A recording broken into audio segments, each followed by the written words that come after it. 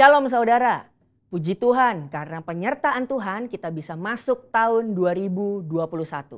Kita percaya bersama dengan Tuhan Yesus, tahun ini pasti lebih baik dari tahun 2020. Tahun yang baru ada semangat melayani yang baru. Ada tiga prinsip yang harus kita miliki untuk memasuki tahun integritas ini. Yang pertama, memiliki pola pikir yang selaras dengan prinsip-prinsip kerajaan Allah. Prinsip-prinsip kerajaan Allah artinya mengikuti hal-hal yang Sang Raja tetapkan dan meneladani karakter Tuhan Yesus. Apa saja karakter yang menonjol dari Tuhan Yesus? Karakter Yesus yang paling menonjol adalah kasih. Kita dapat mengasihi orang lain dan diri sendiri karena Allah sudah lebih dulu mengasihi kita. Kasih manusia sangat terbatas dan kadang didasari oleh ada maunya. Tapi kasih Allah tidak terbatas dan tak bersyarat. Luar biasa kan? Roma 5 ayat yang ke-8 berkata, akan tetapi Allah menunjukkan kasihnya kepada kita. Oleh karena Kristus telah mati untuk kita ketika kita masih berdosa. Yuk terus belajar untuk memiliki karakter Yesus, yaitu kasih kepada semua orang. Ekspresi nyata dari kasih Kristus adalah mengampuni. Allah mau mengampuni kita, karena itu mari kita lepaskan pengampunan di awal tahun ini kepada siapa saja yang roh kudus ingatkan. Mengampuni bukan mengubah masa lalu, tetapi menjaga hati kita untuk tidak terikat dan terluka atas kejadian yang tidak menyenangkan. Ketika saudara mengampuni, hati kita dibebaskan dari perasaan negatif dan belenggu intimidasi. Karakter Kristus selanjutnya adalah memberi. Yesus betul-betul melayani para murid. Yesus fokus memberi teladan, waktu, dan hidupnya kepada murid. Dan lihat, apa yang 12 murid itu lakukan dampaknya sampai sekarang masih terasa. Itulah kekuatan dari memberi hidup. Yang kedua, memiliki pola hidup untuk memenuhi panggilan Tuhan. Dalam Kolose 3 ayat yang ke-17 dan 23, Allah menciptakan manusia agar kita memuliakan dia. Bagaimana caranya? Yang pertama, gunakan semua talenta dan potensi untuk kemuliaannya. Apa pun talenta dan potensi kita, gunakanlah untuk memenuhi panggilan Tuhan. Yang kedua, gunakan semua fasilitas, materi, dan kemampuan untuk menyelesaikan amanat agung. Ayo, terlibat di dalam Pentakosta ketiga ini untuk menuntaskan amanat agung. Jangan berkata kita tidak bisa apa-apa, karena sesungguhnya Tuhan sudah berikan kita kemampuan untuk bekerja di ladangnya. Yang ketiga, memiliki gaya hidup, doa, pujian, dan penyembahan. Gaya hidup doa, pujian, dan penyembahan adalah DNA gereja kita. Dan ini adalah motor untuk kita bisa bergerak maju di dalam pelayanan. Pastikan memasuki tahun ini roh kita menyala-nyala di dalam Tuhan. Apakah saudara masih merindukan hadirat Tuhan? Hadirat Tuhan merupakan satu manifestasi kuasa Allah yang dapat dirasakan setiap anak-anaknya. Kita harus sesering mungkin masuk ke dalam hadirat Tuhan dan bertemu dengan dia secara pribadi. Karena di dalam hadiratnya ada kelepasan, kekuatan, pemulihan, dan kesembuhan. Apakah saudara masih merindukan pengurapan dari Tuhan? Pengurapan adalah kemampuan ilahi yang memampukan kita untuk melayani Tuhan. Pribadi yang merindukan pengurapan Tuhan akan selalu dijauhkan dari kesombongan karena menyadari bahwa semuanya ini berasal dari Tuhan, bukan karena pengetahuan dan pengalaman belaka. Yang terakhir, masihkah kita menyembah Tuhan dengan roh kita? Bila kita sering berdoa dalam bahasa roh, maka roh kita akan lebih peka sehingga kita akan lebih banyak mengetahui rahasia-rahasia sorgawi. 1 Korintus 14 ayat yang keempat berkata, Orang yang berbahasa roh itu membangun dirinya sendiri. Memasuki tahun 2021, ayo jangan sampai roh kita kendor. Jadi, jika saya rangkum, ada tiga sikap yang perlu kita miliki di tahun ini. Hidup sesuai prinsip-prinsip kerajaan Allah, jalani hidup yang sesuai dengan kehendak Tuhan, dan giat berdoa, memuji, dan menyembah Tuhan. Saya percaya kita bersama-sama melangkah masuk ke tahun integritas dengan penuh semangat. Haleluya! Saudara, untuk penjelasan lebih lengkapnya dari tim teologi kami, jangan lupa buka link yang ada di atas atau scan QR code yang tersedia. Tuhan Yesus memberkati.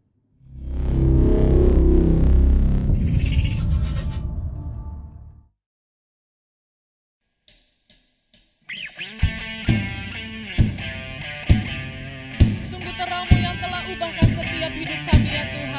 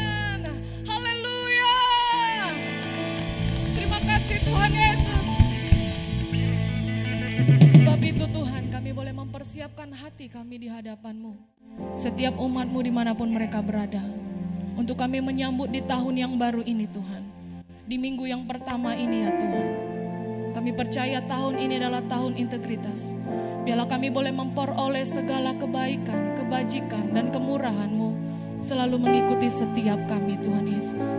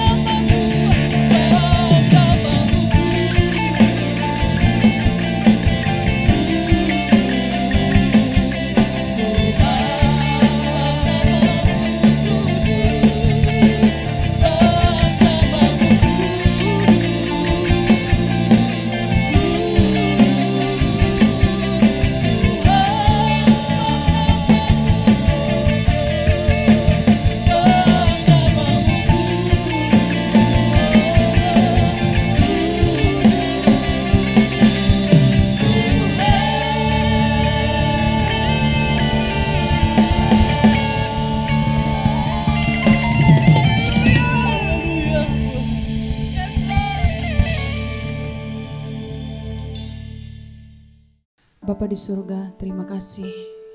Kami sangat bersyukur buat lawatan Tuhan atas ibadah di awal tahun 2021 ini.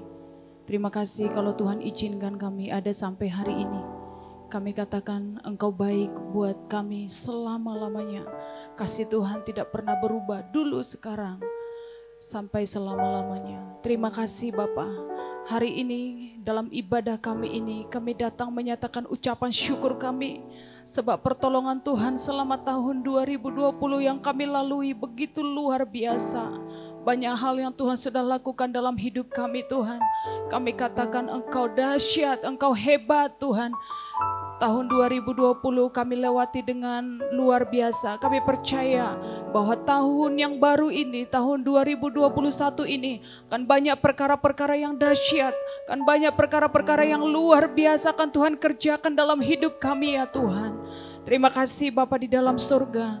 Hari ini kami sepakat berdoa untuk bangsa kami Indonesia. Kami angkat tangan kami berdoa dan melepaskan anugerah berkat damai sejahtera Tuhan turunlah atas bangsa kami.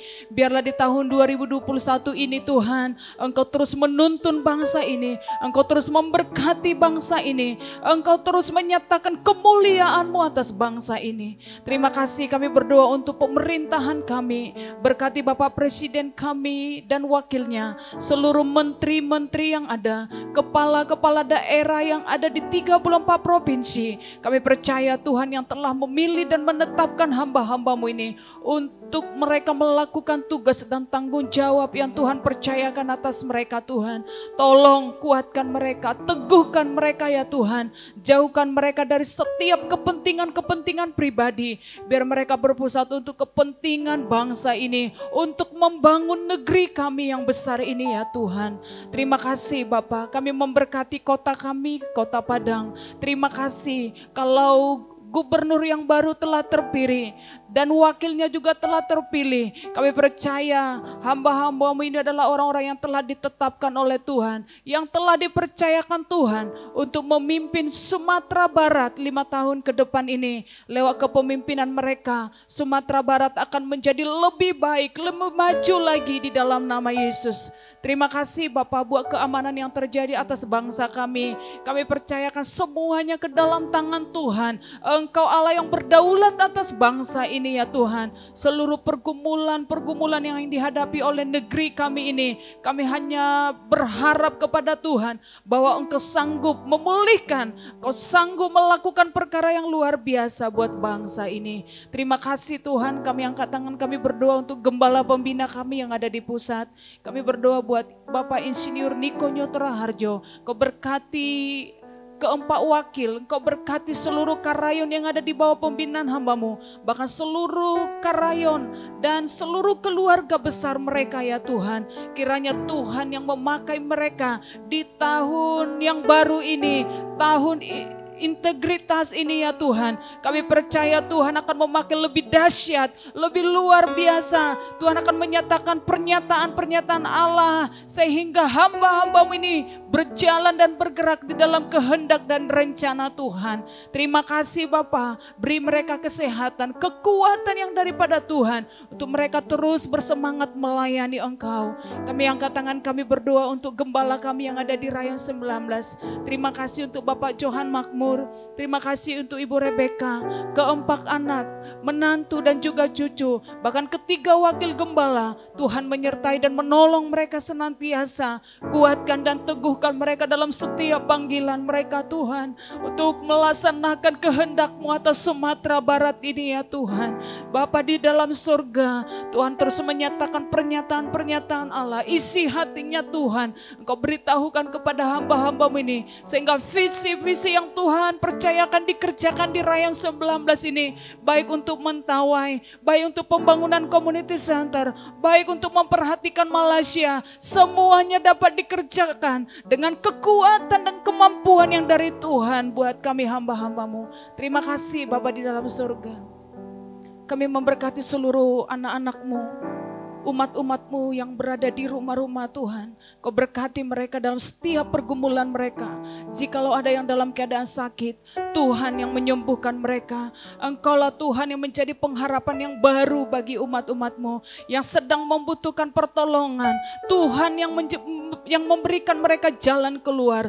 Tuhan yang menolong mereka di dalam nama Yesus. Apa pun pergumulan umat-umatmu, kami percaya Tuhan Yesus, Engkau yang sanggup menolong dan menyatakan hal-hal yang luar biasa. Terima kasih, biarlah di tahun yang baru ini kami terus bersemangat melayani Tuhan. Kami terus bersemangat untuk melayani Tuhan di rumah kami masing-masing. Terpuji-pujilah namamu. Kami mengangkat tangan kami berdoa buat hambamu yang akan menyampaikan kebenaran firmanmu. Tuhan urapi, Tuhan pakai. Biarlah kebenaran firman yang disampaikan hari ini menguatkan kami seluruh jemaatmu. Kami percaya Tuhan memberkati hambamu dengan luar biasa. Kami Percayakan Tuhan seluruhnya apa yang menjadi kerinduan hambamu ini. Tuhan yang akan tetap memberkati dan menjawabnya di dalam nama Yesus. Terima kasih Bapa di dalam sorga. Kami bersyukur dan kami naikkan ucapan syukur kami di awal tahun yang baru ini. Hanya hormat kemuliaan bagi Tuhan kami kekal untuk selama-lamanya. Dalam nama Yesus kami berdoa dan mengucap syukur. Haleluya. Amin. Mari kita bersama-sama membacakan lima butir apa yang dimaksud dengan Pentakosta ketiga. Satu, Pentakosta ketiga adalah pencurahan roh kudus yang dahsyat di zaman now, melebihi yang terjadi di Azusa Street. Dua, Pentakosta ketiga akan mengakibatkan penuaian jiwa yang terbesar dan yang terakhir sebelum Tuhan Yesus datang kembali. Tiga, Pentakosta ketiga akan membangkitkan generasi Yeremia, yaitu anak-anak muda yang dipenuhi roh kudus, cinta mati-matian kepada Tuhan Yesus, tidak kompromi terhadap dosa, dan akan bergerak untuk memenangkan jiwa. Empat, Pentakosta ketiga lahir di Indonesia dan bergerak ke bangsa-bangsa. Gerakan ini dari timur ke barat dan akan kembali ke Yerusalem. Lima, Pentakosta ketiga akan memberikan kuasa untuk menyelesaikan amanat agung dan setelah itu Tuhan Yesus datang kembali. Mari kita bersatu di dalam doa. Tuhan kami sangat bersyukur kepada Engkau ya Tuhan oleh karena kasih karunia, anugerah, rahmat dan perkenanan Tuhan atas hidup kami pribadi lepas pribadi maka kami ada dan sampai kepada tahun yang baru ini Tuhan. Pada minggu yang pertama di 2021 ini, kami bersyukur kami ada hari ini semua karena anugerah dan kebaikan Tuhan. Oleh sebab itu kami datang dengan mengucap syukur, meninggikan dan memuliakan Tuhan, mencari Tuhan di awal tahun ini, agar Tuhan memberkati perjalanan kehidupan kami sepanjang tahun ini Mari ya Tuhan, biarlah Engkau menuntun dan membimbing jalan-jalan hidup kami lewat kebenaran firman-Mu. Supaya di awal tahun ini ya Tuhan, kami boleh berkomitmen untuk mengasihi Engkau, untuk mentaati Engkau dan hidup di dalam jalan-jalan firman-Mu yang penyatakan pada hari ini. Terima kasih Tuhan, kami buka hati kami untuk menantikan Engkau berbicara tengah-tengah kami. Urapi hambamu ini, Urapi kami semua yang ikut mendengarkan kebenaran firman-Mu. Di dalam nama Yesus, setiap kita yang siap menyambut firman Tuhan sama-sama kita katakan, Amin. Saya mengucapkan shalom dan selamat tahun baru bagi Bapak Ibu Saudara, di mana pun Bapak Ibu Saudara berada, di rumah di kota Padang, mungkin di Mentawai, mungkin di Medan, di kampung halaman, di mana pun Bapak Ibu Saudara, saya mengucapkan selamat tahun baru dan saya berdoa bahwa di tahun yang baru ini saudara diberkati oleh Tuhan berlimpah-limpah. Amin. Tuhan memulihkan keadaan saudara, kesehatan saudara dipulihkan, pekerjaan sudah dipulihkan, keluarga saudara dipulihkan, bahkan dompet saudara dipulihkan. Yang setuju dan mau katakan amin. Haleluya. Nah, Bapak Ibu Saudara, pada minggu pertama di tahun baru ini saya mau membahas satu topik yakni berjudul ketetapan hati. Mari kita lihat firman Tuhan yang terdapat di dalam Daniel pasal 1 ayat 8, ayat 8 sampai 13. Daniel 1 ayat 8 sampai 13. Saya akan membacakan buat Bapak Ibu Saudara. Daniel 1 ayat 8 sampai 13. Saya akan bacakan buat Bapak Ibu Saudara. Daniel berketetapan untuk tidak menajiskan dirinya dengan santapan raja dan dengan anggur yang biasa diminum raja. Dimintanyalah kepada pemimpin pegawai istana itu supaya ia, ia tak usah menajiskan dirinya. Maka Allah mengaruniakan kepada Daniel kasih dan sayang dari pemimpin pegawai istana itu. Tetapi berkatalah pemimpin pegawai istana itu kepada Daniel, Aku takut kalau-kalau tuanku raja yang telah menetapkan makanan dan minumanmu berpendapat bahwa kamu kelihatan kurang sehat daripada orang-orang muda lain yang sebaya dengan kamu. Sehingga karena kamu, aku dianggap bersalah oleh raja. Kemudian berkatalah Daniel kepada penjenang yang telah diangkat oleh pemimpin pegawai istana untuk mengawasi Daniel, Hananya, Misael, dan Azaria. Adakanlah percobaan dengan hamba-hambamu ini selama sepuluh hari, dan biarlah kami diberikan sayur untuk dimakan dan air untuk diminum. Sesudah itu bandingkanlah perawakan kami dengan perawakan orang-orang muda yang makan dari santapan raja. Kemudian perlakukanlah hamba-hambamu ini sesuai dengan pendapatmu. Haleluya. Saudara, banyak orang punya harapan pribadi di awal tahun, saudara. Mereka punya harapan-harapan untuk kehidupan yang mereka akan jalani, mereka capai di sepanjang tahun ini, saudara. Mereka punya resolusi, mereka punya cita-cita, mereka punya keinginan yang hendak mereka capai dan wujudkan di tahun yang baru ini. Banyak orang yang punya harapan di awal tahun, saudara. Tetapi sering tidak terwujud. Kenapa? Karena dari awal dia tidak punya ketetapan hati. Kalau orang punya keinginan tapi tidak punya ketetapan hati, maka tidak akan ada yang berubah dalam kehidupannya. Kalau perubahan itu dia letakkan berdasarkan moodnya saja, perasaannya saja, keinginannya saja, maka mood itu mudah sekali berubah. Ketika keadaan berubah, situasi berubah, maka moodnya juga akan berubah.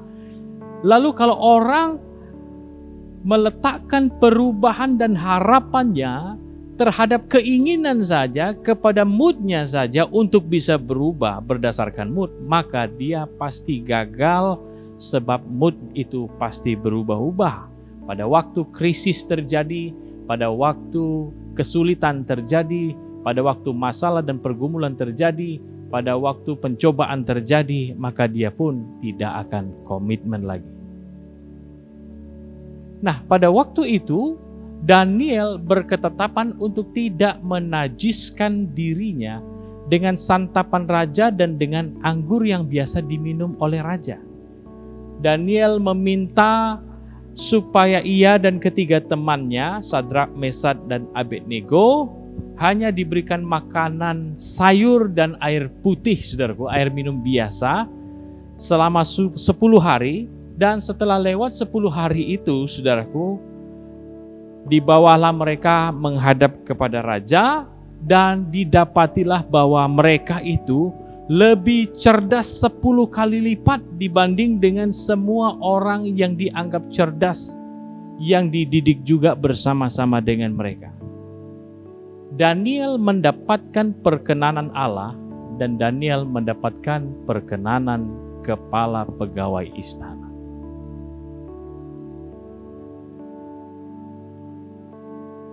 Nah, Bapak Ibu Saudara yang dikasih oleh Tuhan, kalau kita nggak punya ketetapan hati, maka kita akan sering dikalahkan.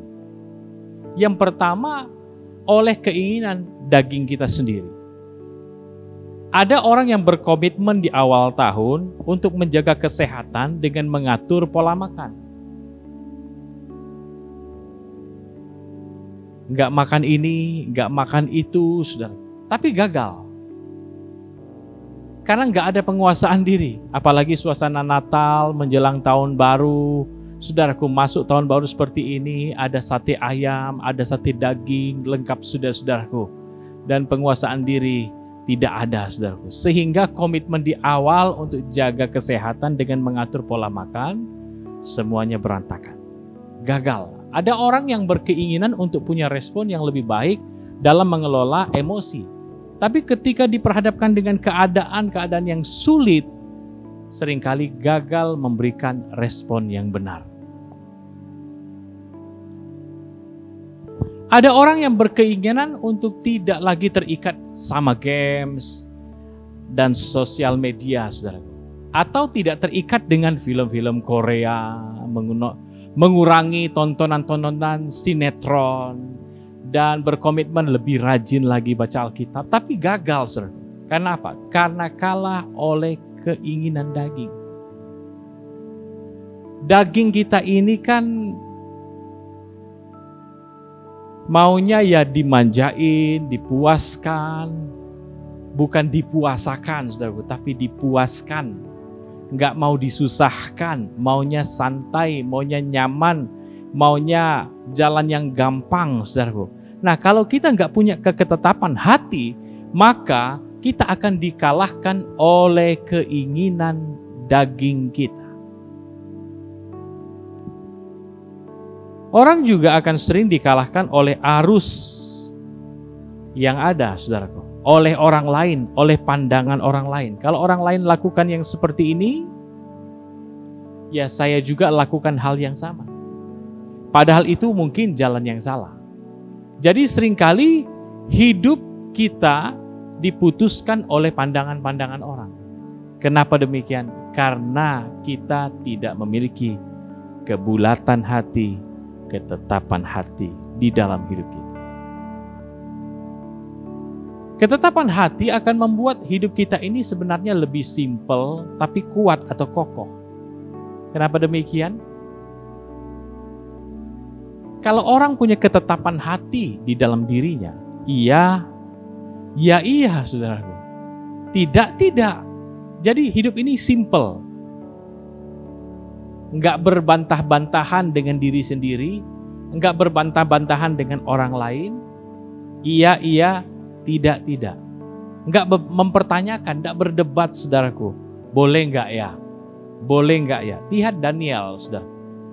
Ketika Daniel ada pada posisi yang sebenarnya dalam promosi yang luar biasa buat kehidupannya sebagai seorang atau anak muda yang ada dalam pembuangan di negara yang lain atau bangsa yang lain sebagai orang buangan tapi terpilih untuk dididik selama tiga tahun di sana dididik dengan aturan-aturan di sana untuk nantinya setelah selesai pendidikan akan menjabat sebagai pejabat yang bekerja pada kerajaan. Tetapi pada waktu diaturkan makanan dan minuman raja yang akan berikan kepadanya, dia berketetapan hati untuk tidak menajiskan dirinya dengan santapan raja dan dengan anggur yang diminum oleh raja. Sebab kalau dia meminum atau memakan makanan itu, dia secara hukum Taurat menajiskan dirinya dan berdosa kepada Tuhan, berdosa kepada Allah. Saudaraku, ketetapan hati akan membuat hidup kita ini sebenarnya lebih simpel, tapi lebih kokoh atau lebih kuat. Kenapa? Karena iya ya iya, tidak, ya tidak. Enggak berdebat, saudaraku. Enggak mempertanyakan boleh atau enggak ya makan ini ya. Ini kan saya lagi pendidikan, bagaimanalah ya kan? Saya ini kan sedang dalam posisi dipromosikan. Kalau saya tidak makan, saya dianggap menentang atasan saya, pimpinan saya. Tapi kalau saya makan, saya menajiskan diri karena saya melanggar daripada aturan-aturan daripada Taurat Tuhan. Boleh nggak ya? Boleh nggak ya? Nah ini saudaraku, Daniel punya ketetapan hati yang kuat. Dia belum ngomong sama Sadrak, Mesak, dan Abednego. Dia menghadap kepada pengurus itu dan berkata, berikanlah kepada kami sayur untuk dimakan dan berikan kepada kami air untuk diminum. Izinkanlah kami untuk tidak memakan santapan raja dan anggur yang diminum oleh raja. Dia memutuskan, dia berketetapan hati dan dia memutuskan untuk dia menjadikan dirinya Lalu dia dengan sopan dan dengan lembut memohonkan untuk dia diberikan sayur dan air minum saja. Satu ketetapan hati yang seperti ini, iya ya iya, tidak ya tidak. Dia tidak berbantah-bantah dengan dirinya, dia tidak memperdebatkan boleh atau tidak. Akhirnya apa yang menjadi permintaannya diluluskan oleh kepala pegawai istana itu. Dan saudaraku, tiga orang temannya akhirnya mengikuti ketetapan hati atau prinsip yang dijalani oleh Daniel ini.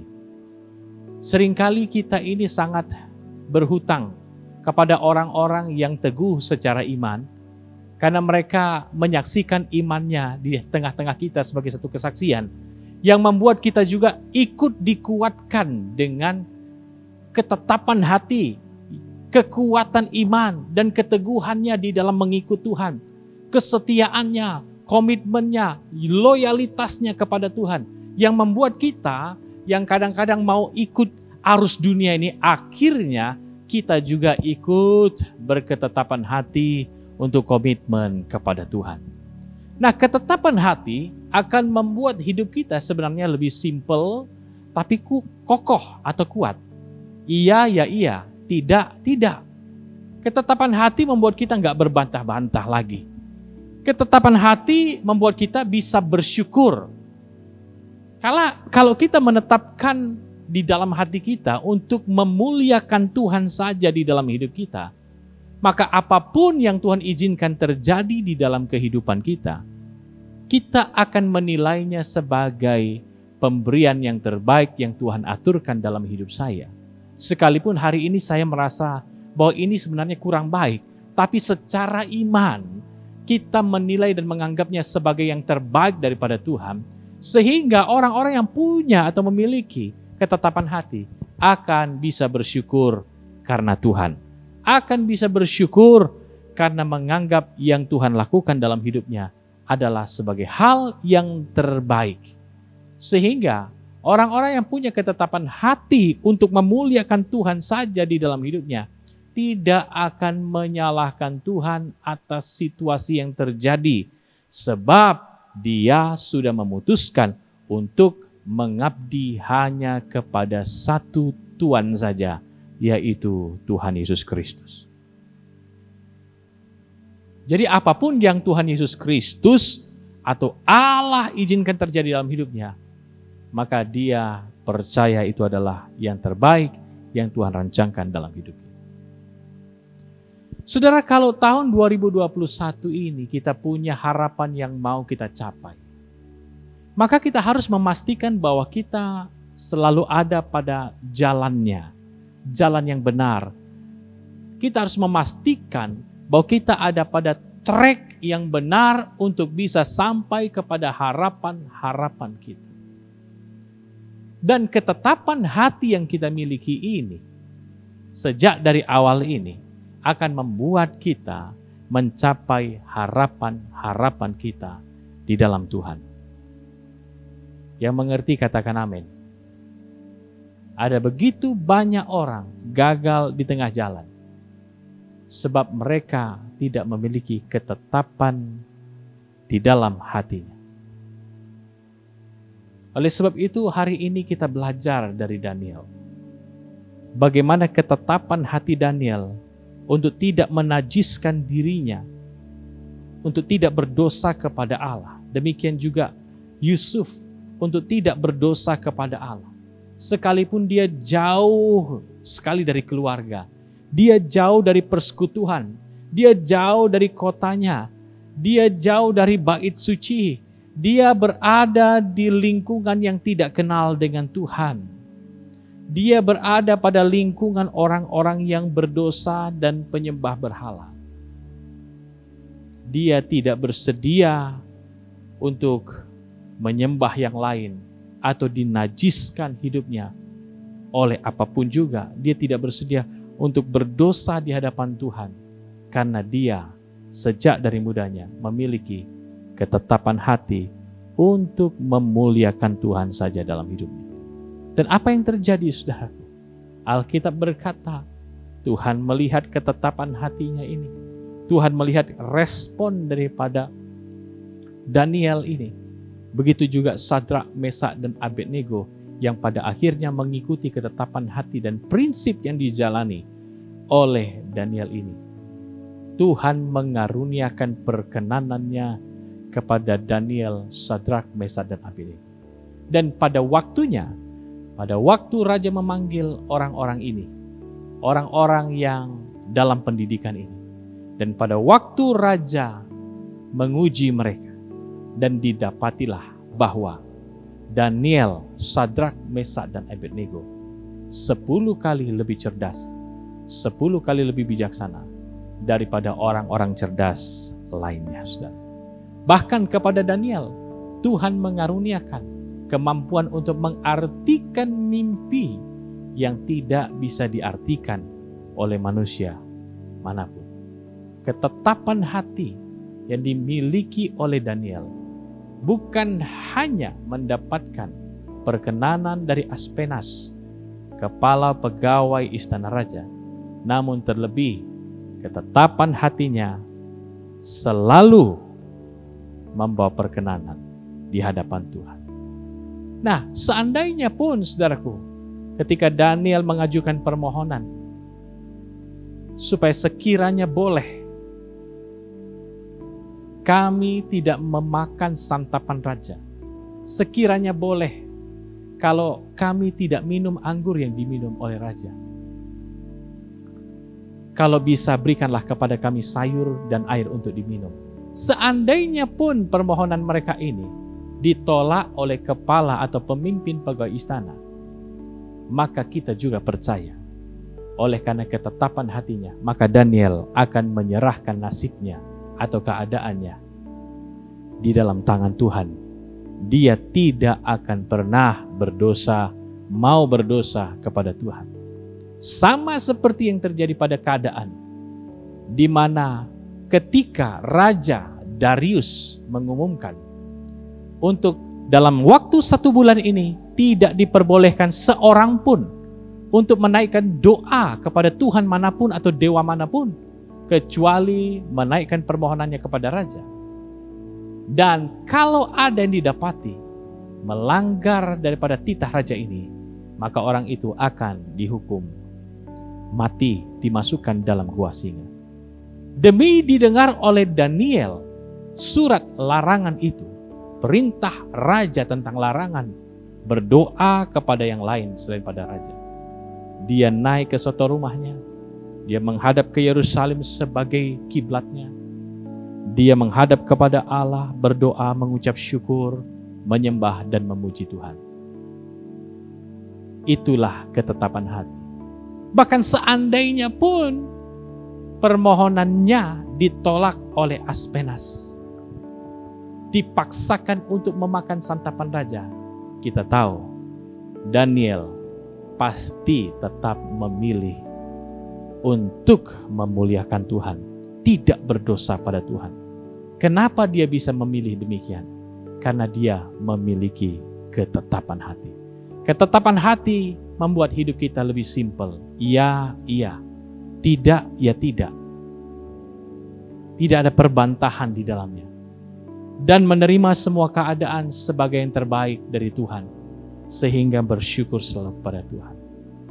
Mengawali tahun ini, marilah kita memiliki satu ketetapan hati di hadapan Tuhan untuk terus loyal, komitmen, mengasihi cinta Tuhan, apa pun yang terjadi dalam hidup kita. Milikilah harapan-harapan yang ilahi, harapan-harapan yang digantungkan kepada Tuhan, dan teruslah berada di dalam jalan-jalan yang akan menghantarkan Bapak Ibu Saudara kepada pencapaian harapan-harapan saudara dengan cara punya ketetapan hati. Tuhan Yesus memberkati. Selamat tahun baru bagi kita semua. Mari kita berdoa. Segala puji dan syukur kami naikkan kepada Tuhan. Terima kasih Tuhan di awal tahun ini kami kembali bisa beribadah dan mendengarkan ajaran firman-Mu. Dan kiranya ya Tuhan, apa yang kami sudah dengar hari ini merupakan satu pelajaran yang akan kami jalani sebagai jalan bagi kehidupan kami, penuntun bagi hidup kami Tuhan, yang akan mengajarkan langkah-langkah kami dan respon-respon kami. Untuk kami terlebih dahulu memiliki ketetapan hati, mengasihi Tuhan, memuliakan Tuhan, dan menjadikan Tuhan Raja yang memerintah, Tuhan satu-satunya dalam hidup kami.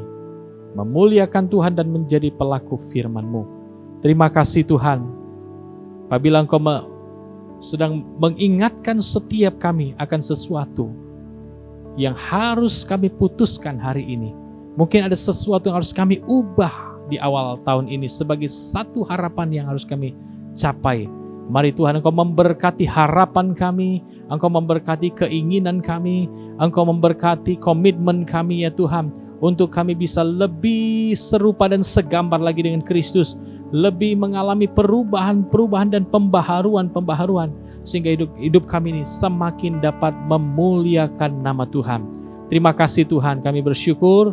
Mari terus berkati kami semua, pribadi lepas pribadi, keluarga demi keluarga, apa pun yang kami alami hari-hari ini, mungkin ada pergumulan-pergumulan kami ya Tuhan, ada masalah-masalah yang kami hadapi hari-hari ini. Hambamu berdoa ya Tuhan, oleh karena perkenananmu Tuhan, yang melawat kami di awal tahun ini, maka biarlah Tuhan memberikan satu jaminan bagi kami bahwa Tuhan menyertai, Tuhan menolong kami, Tuhan membuka jalan yang baru, jalan keluar bagi kami. Dan kami percaya kami akan melihat pertolongan-pertolongan Tuhan sepanjang tahun ini dalam hidup kami, pekerjaan kami, dan keluarga kami.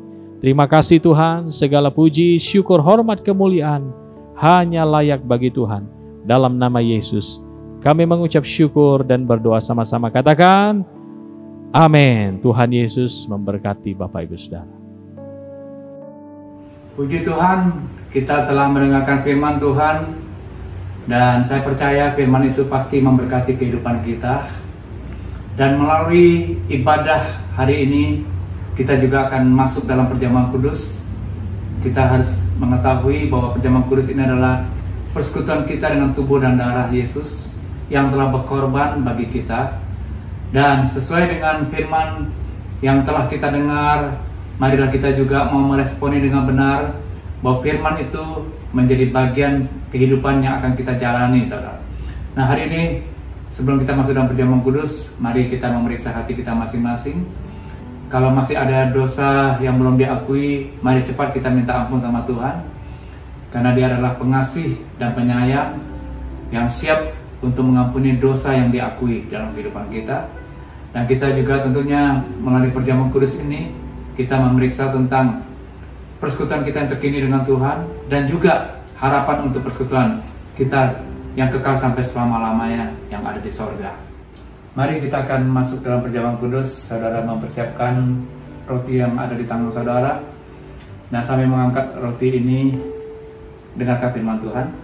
Sebab apa yang telah kuteruskan kepadamu telah kuterima dari Tuhan. Yaitu bahwa Tuhan Yesus pada malam waktu dia diserahkan, mengambil roti, dan sesudah itu ia mengucap syukur atasnya. Ia memecah-mecahkannya dan berkata, Inilah tubuhku yang diserahkan bagi kamu. Perbualah ini menjadi peringatan akan aku. Saudaraku, bukankah roti di tangan kita merupakan persekutuan kita dengan tubuh Kristus?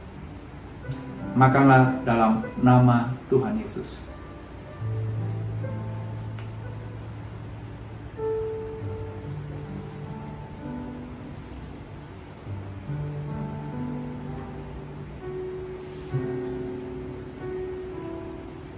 Mari kita mengangkat cawan ini. Demikian juga yang mengambil cawan sesudah makan lalu berkata, cawan ini adalah perjanjian baru yang dimateraikan oleh darahku. Perbualah ini setiap kali kamu meminumnya menjadi peringatan akan aku. Saudara, bukankah cawan di tangan kita merupakan persekutuan kita dengan darah Kristus? Minumlah dalam nama Tuhan Yesus.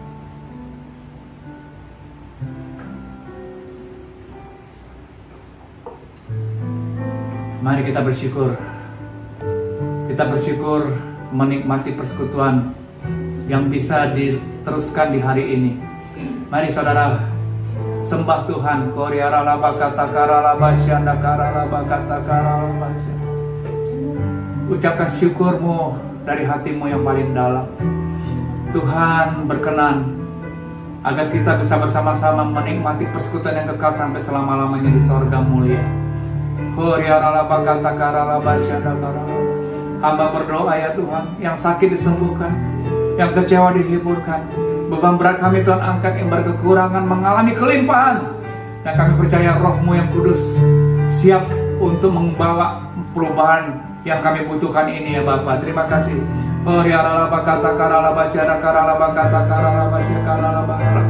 Terima kasih Tuhan.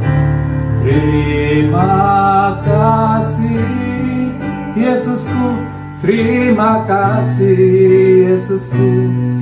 Puji syukur hanya bagi Tuhanku. Terima kasih Yesusku. Terima kasih Yesusku. Puji syukur hanya bagi Tuhanku. Puji syukur hanya bagi Tuhanku. Puji syukur hanya bagi Tuhanku.